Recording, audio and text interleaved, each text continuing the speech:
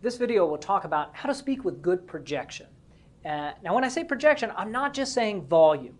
We can get volume just by screaming. Uh, that's not what we want, right? You don't want to be doing a talk like, I want to thank everyone for coming here today. This is a joyous occasion, right? When you scream, you're tightening up your throat. You can try this now, right? Put your hand on your throat and pretend to scream. Ah, right?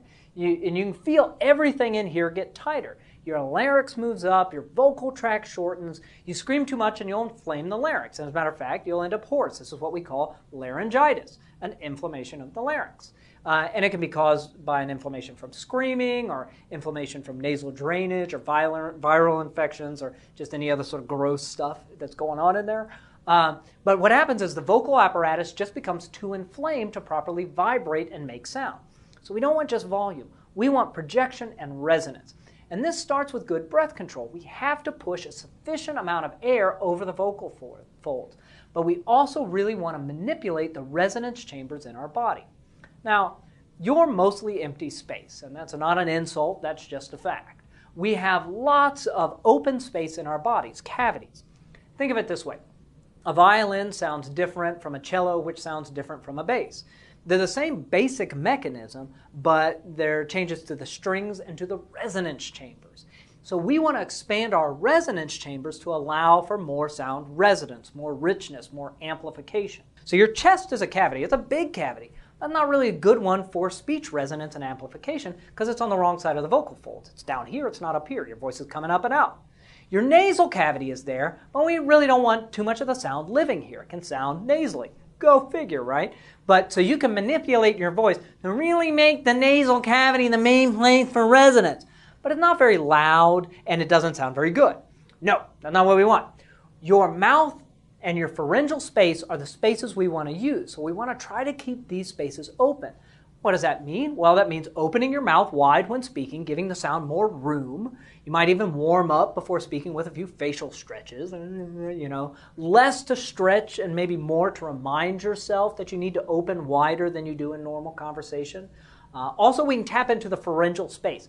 Now, the pharyngeal space is a cavity above the epiglottis and below the soft palate. And when really speaking with volume, I always felt like that my esophagus was really opening up. And that's not entirely accurate, but it's really just opening up this cavity here in your throat. So try this. You can feel this sensation.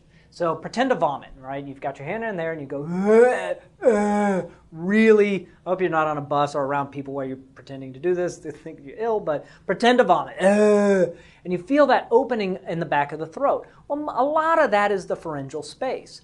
And using this space gives us a little bit more area for the sound to gain resonant qualities and volume. It really, the difference between this and this and this is really just an increase in air pressure, pushing that air out deliberately and also expanding that pharyngeal space. Now, what are we shooting for with good projection? Well, I want to fill the space with sound. So in a room, I'm thinking usually about two things. One, if there were people in the room, you know, that can they all still easily hear me? If there were 10 rows of seats past the last row of current seats, could they easily hear what I'm saying? Uh, two, can I hear a little bit of an echo when I speak? And this is if I'm speaking without a microphone. Uh, can I hear my voice bouncing back off of the walls? If I can, it tells me I'm speaking with enough volume that some of that sound is hitting the wall and bouncing off and coming back to me. And also, this allows me to adapt to different room setups. If it's a big, empty concrete room, I just want a little bit of bounce back so it's not too echoey. If it's a big room with lots of fabric dampening the sound waves, I might need to push a little bit more to hear that echo. And all of this changes if you're using a microphone. So if I'm on a microphone, I normally back off so I can still project without blowing out the speakers, right? I normally want to be at least this far away from a mounted microphone.